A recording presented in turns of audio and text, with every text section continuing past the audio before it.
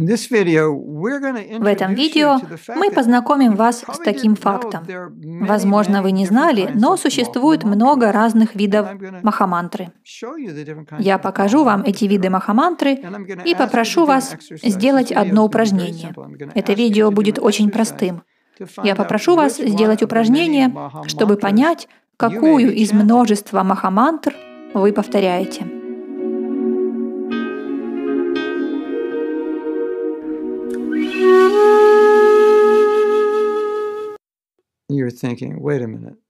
Вы подумаете, минуточку, есть только одна махамантра.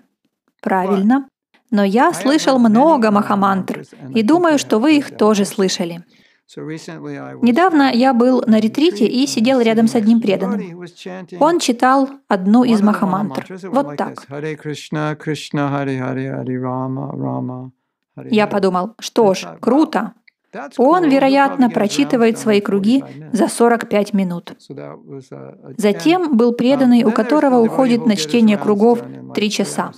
Hare Krishna, Hare Krishna, Krishna Krishna, Krishna Krishna, Hare Hare, Hare Hare, Hare Hare, Hare Ram, Hare Ram, Ram Ram, Ram Ram, Ram Ram, Ram Hare Hare, Hare Возможно, вы слышали такое. И еще есть разные промежуточные варианты. Hare Krishna, Krishna Krishna, Hare Krishna, Кришна Кришна, Харе Харе, that one, or Харе Кришна, Харе Кришна, Кришна, Харе Харе. Можете себе представить, сколько бывает вариантов.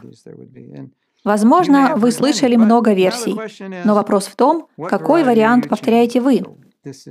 И вот что я прошу вас сделать. Когда вы повторяете свои круги, знаете, для чего создан ваш телефон?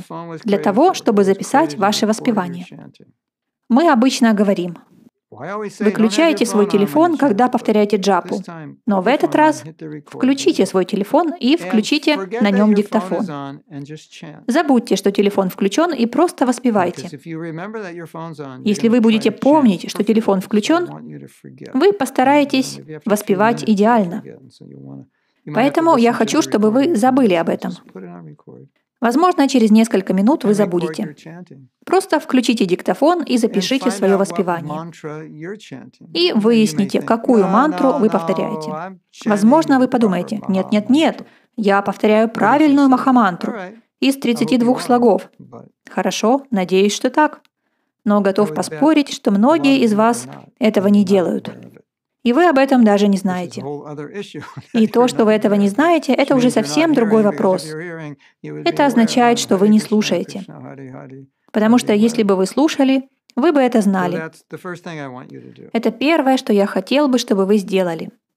Но, пожалуйста, не играйте для записи. Если вы будете играть, то сделаете все идеально. И вы никогда не осознаете, что на самом деле Обычно вы воспеваете не идеально. Второе. Когда вы будете переслушивать, подумайте, что вы ощущаете, слушая свое воспевание. Представьте, что вы Кришна, и Он слушает это воспевание. Как вы думаете, что он чувствует по тону вашего голоса? Каковы ваши эмоции? Иногда мы воспеваем, и это звучит так.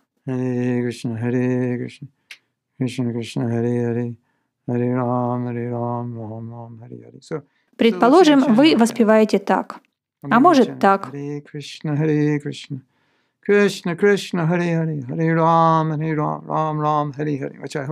Я надеюсь, что у вас так, но может быть, вы не всегда так воспеваете. Но представьте, что Кришна слушает ваше воспевание.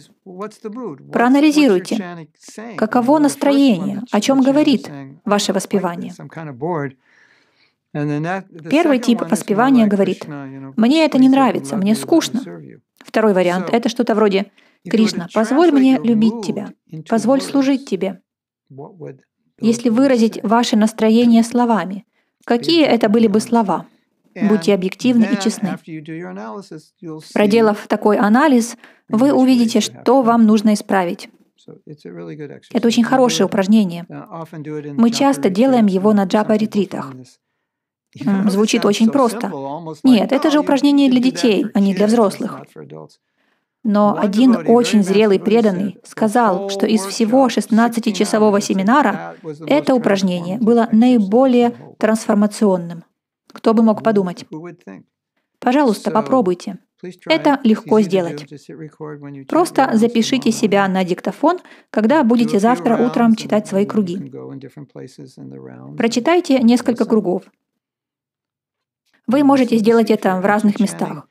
И прослушайте, чтобы понять, действительно ли вы повторяете настоящую махамантру из 32 слогов или один из вариантов, созданный небрежно повторяющими мантру людьми.